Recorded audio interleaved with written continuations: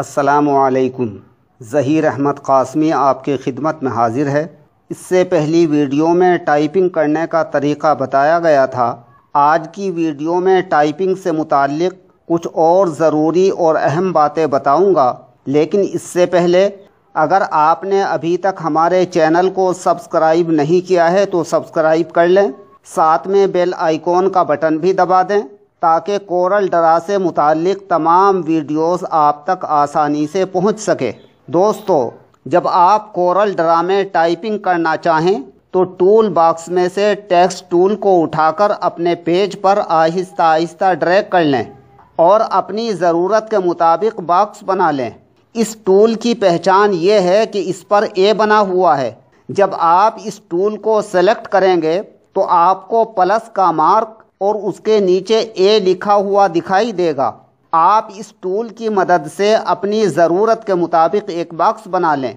इस बॉक्स के चारों तरफ़ छह नुक्ते बन जाएँगे और दरमियान में ऊपर नीचे दो निशान और होंगे, जिनकी मदद से आप बॉक्स को ऊपर या नीचे से छोटा बड़ा कर सकते हैं। आपको बॉक्स के बिल्कुल शुरू में लेफ़्ट साइड में एक छोटी सी लाइन दिखाई देगी, इसे कर्सर कहा जाता है। इसकी मदद से ही आप अपना मैटर टाइप कर सकेंगे। ऑटोमेटिक तरीके से आपका पेज 100 परसेंट दिखाई देता है। अगर आप टाइप करने से पहले F4 का बटन दबा लें तो आपका पेज पूरी स्क्रीन पर फैल जाएगा और बजाय 100 परसेंट के 216 परसेंट दिखाई देगा। अब आपको टाइपिंग करने में मज़ीद सहूलत होगी। बारहा ऐसा होता है कि टाइप करते वक्त कोई लफ्ज़ बार बार लिखना पड़ता है। मसलन, आप अपने शहर के स्कूलों की एक लिस्ट तैयार करना चाहते हैं। उसमें लफ्ज़ शहर मुजफ्फरनगर सूबे उत्तर प्रदेश बार बार लिखना है। ऐसी सूरत में कोरल ड्रा आपको ये सहूलत फराहम करता है कि आप एक मरतबा इस लफ्ज़ या इबारत को टाइप कर लें, फिर कर्सर की मदद से इस इबारत को सेलेक्ट कर लें। अब मेनू बार में जाएँ और कॉपी पर क्लिक कर दें।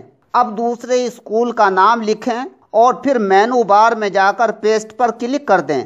आप देखेंगे कि इस कमांड का इस्तेमाल करने पर वो इबारत खुद ब खुद लिखी जा चुकी है। इसके लिए एक शार्ट कमांड भी है। कॉपी करने के लिए आप अपने कीबोर्ड में से कंट्रोल सी का बटन दबा दें, कॉपी हो जाएगी।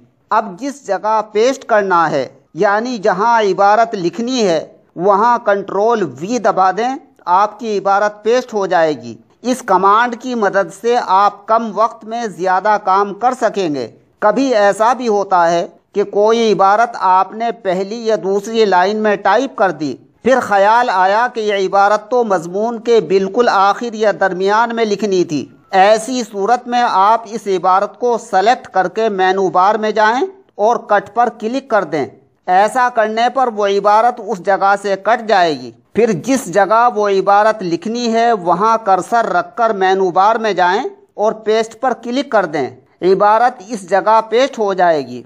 इसकी शॉर्ट कमांड भी है। आप काटने के लिए कंट्रोल एक्स और पेस्ट करने के लिए कंट्रोल वी का भी इस्तेमाल कर सकते हैं। आज के लिए इतना ही। बाकी अगली वीडियो में इन दुआ में याद रखें। असलकुम